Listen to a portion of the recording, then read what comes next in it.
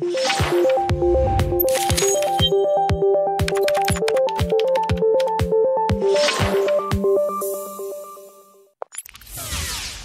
and welcome back to Learn Linux TV. In today's video, what I'm going to do is show you more footage from my recent trip to Scale. Now, to be fair, the 19th Southern California Linux Expo in Los Angeles, California actually occurred at this point over a month ago. And I wanted to get this video out sooner, but I actually went on vacation to Niagara Falls, Canada, and I had a ton of fun. And now that I'm back, there's additional footage from Scale that I wanted to make sure that you guys saw before I close out this series. So I actually have several interviews to show you guys. So what I'll do is play those back right now, and this video will actually close out the Learn Linux TV coverage of Scale for this particular year, but I do plan on going back, so hopefully if all things work out exactly the way I think they will, I'll be there next year. But anyway, let's go ahead and check out the footage that I have for you guys in today's video. So, how you doing? Good. How are you doing? Doing all right. So, um, Linux Chix LA. So I was hoping you could just mention, of course, your name and the project itself, and uh, what would you like people to know about Linux Chix LA? Uh, my name is Sharon Lake. Uh, Linux Chix LA kind of grew out of the uh, Linux user groups of like the 90s and, and 2000s.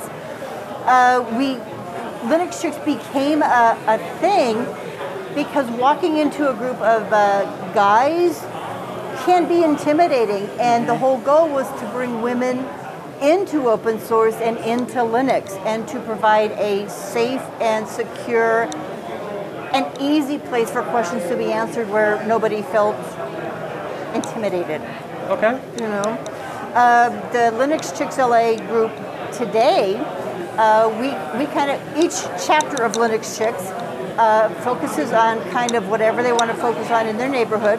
Linux Chix LA focuses on taking people who are new to open source, Linux, anything computer related, and providing a platform to get them from knowing nothing to knowing something.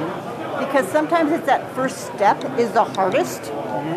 And you just want to take them to say, okay, well, this is Python, intro to Python. This is the Linux command line intro. This is a install fest. This is a Raspberry Pi and that gets them to the space where they're more confident so they can go out into the forums and learn as much as they want to learn, you know.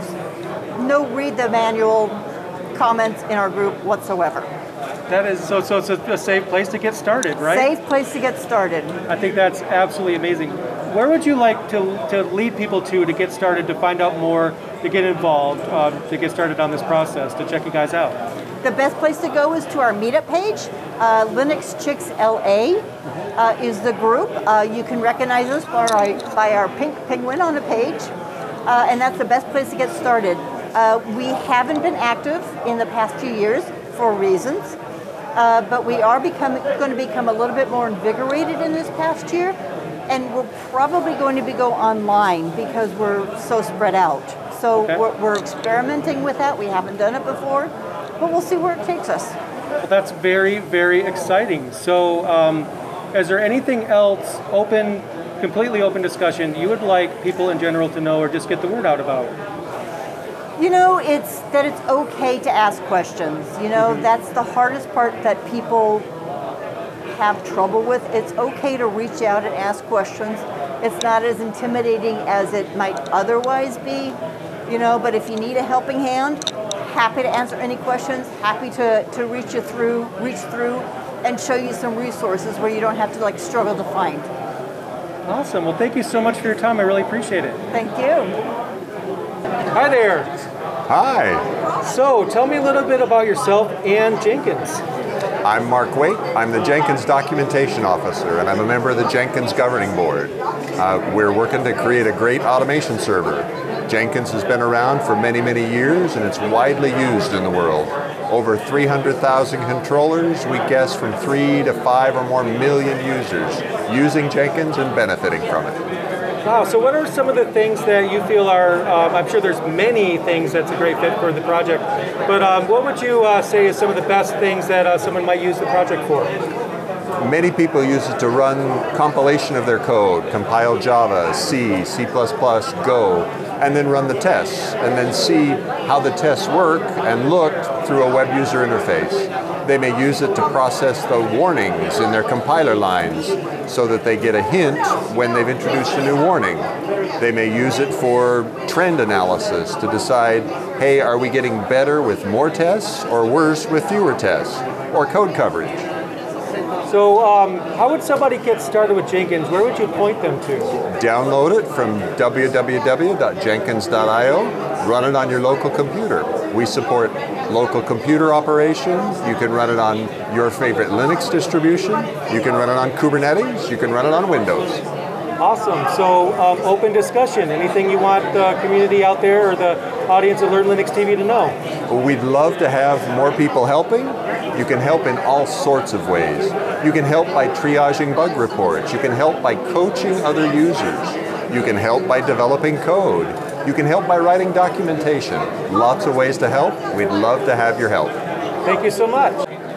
Hi there, how you doing? Great. So I'm here at Learn Linux TV and also Linode as well. And we'll go ahead and introduce yourself and let's talk Debian.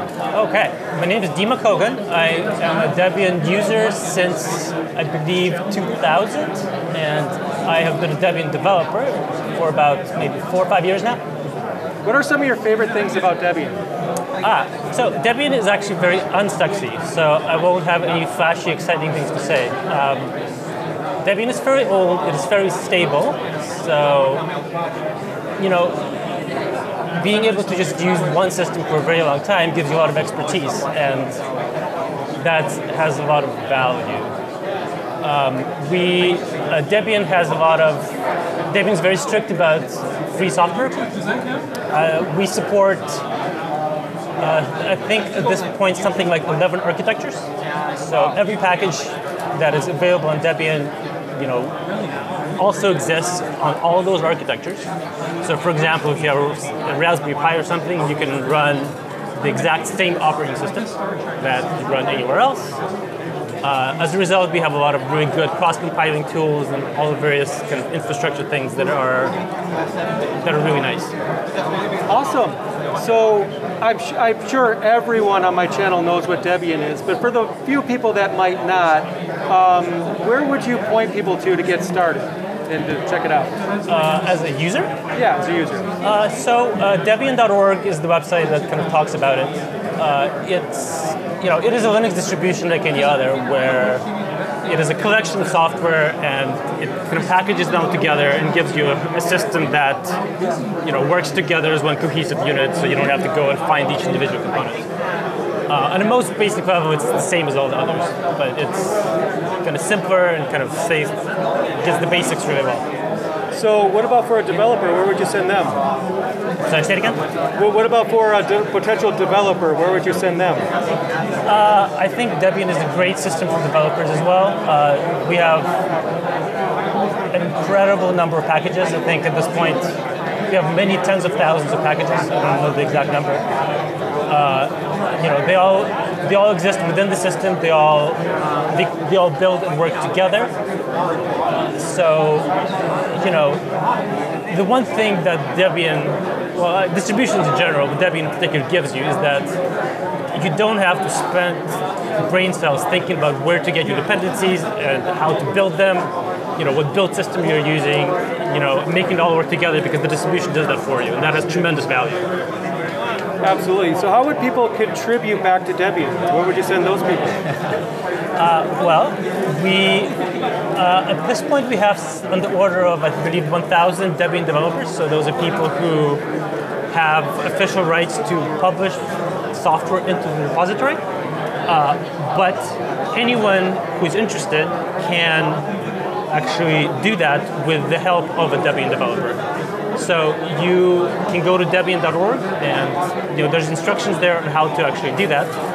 Um, the community is vibrant. Uh, there's a lot of mailing lists. Uh, there are very active IRC channels where you can talk to, where you can communicate and get help. Uh, uh there's a bug tracker and everything else. Uh, uh, I really won't say the IRC channel is incredibly useful. So if anyone has questions about contributing or about anything really, go on IRC. It is you will be surprised at how how many people are on there. Yeah. And I, yeah, as a personal note, yeah, IRC is awesome, and I could definitely uh, back you up on that claim right there. And another thing I'll mention on my end is, uh, by the way, thanks to the Debian project in general for all the amazing things that I feel would not exist in the Linux community today had you guys not have led the way and created some major innovation in this space, Yeah, and it is recognized. I wish I could take credit. I can't, but uh, you're definitely right. The project, the project has created a lot of value for lot of people. There's a lot of people working on it, and it's just fantastic.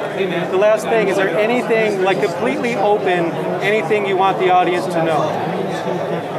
I know, hard one, right? You people want the audience to know. Um,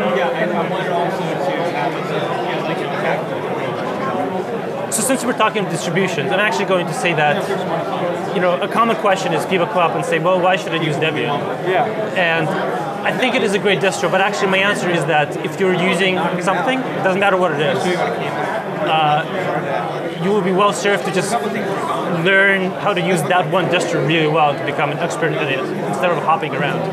that makes sense. Because, you know, Debian is good, but it's not perfect. It has, you know, a lot of warts and the same as any other system. And learning kind of the intricacies of any one system, I think, is you will be better served by doing that than kind of figuring out any particular one on kind of a surface level. awesome. Well, thank you so much for your time. I really appreciate Sure. it. Hi there. Hey, So I'm just running around, just getting uh, some really awesome people to talk about their really awesome technologies. So Ceph is awesome. Yeah. I think you're awesome too. So how about we just get some chat going about Ceph? sounds Um, great. So what I was thinking is for the people who couldn't be in attendance and may not know what Ceph is, uh, what would you uh, describe Ceph as? So, Ceph is an open source project. Code is free to download and contribute to. Um, we build software or open source storage systems for data center scale storage needs. We, you know, you buy your servers, you bring your servers, you install the Ceph software on top of them, and we aggregate all those NVMe and SSD and hard drives you have into a unified pool and export it out to to whoever you want over your network as virtual block devices, a POSIX compliant file system, and an S3 co- compatible object storage solution. So if you need to build storage for your data center, you got it from us. We are, you know, redundant and resilient to oh things as simple as oh we need to upgrade the server, so we're rebooting it. We make sure the data is still available up to disasters like oh no, we got a flood in our data center and lost 20% of our servers, Oh, no. but we make sure your ser- data is still available and So one thing I'll tell you on my channel, Ceph, is it might be number one or very close to um, the most requested content that I do. Awesome. So I feel like this segment's going to get a lot of attention. But where would you point people if they wanted to know like where to get started to get set up with it? Ceph.com. We got good documentation, we got user stories, we got white papers and scholastic artic- journal articles. If you want to learn, and, and links to like our YouTube channel with all kinds of conference talks and, and online tech talks. So if you want it, it'll be there in some format. Awesome. So, um, so the last thing, uh, completely open-ended. What would you like my audience to know about Ceph in general? Oh man. Open platform.